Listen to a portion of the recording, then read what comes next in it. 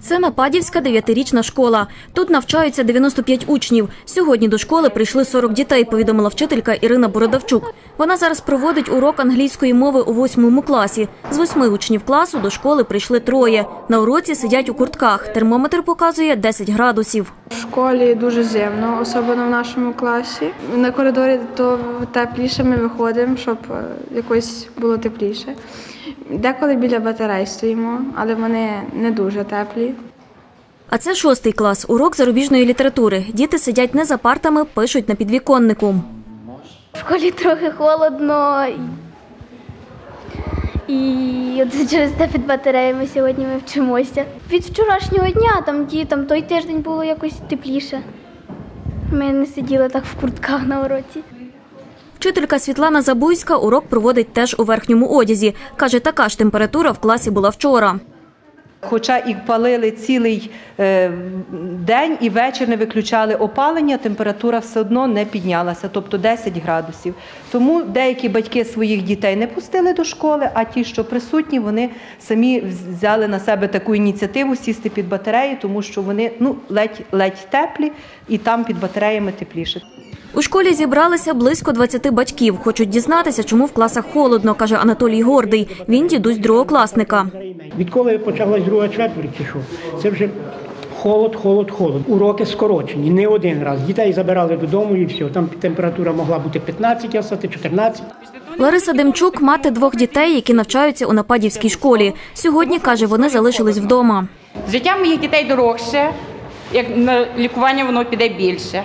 Я вирішила, хай лучше діти вдома будуть, як вони будуть навчатися в холодній школі. Ірина Буревдовчук, вчителька англійської мови і голова профспілки вчителів цієї школи. Ми зверталися до голови громади.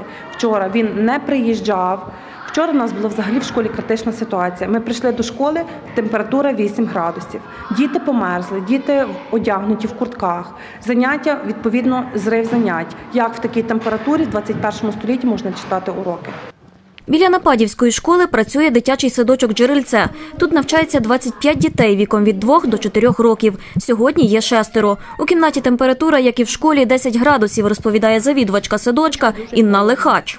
З двох груп, які відвідують наш дитячий садочок старша та середня, сьогодні представники зібралися в одну кімнату, де тепліша температура, тому що е, температурний режим в садочку не дотримується від початку опалювального сезону.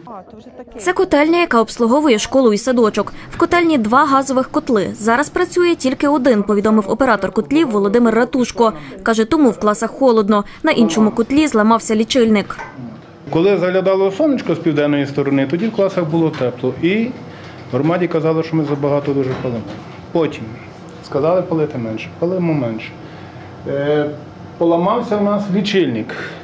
Приїхала газова служба, поламався лічильник на цей потужніший котел. Сьогодні у нас є малий котел, він не в змозі опалити школу.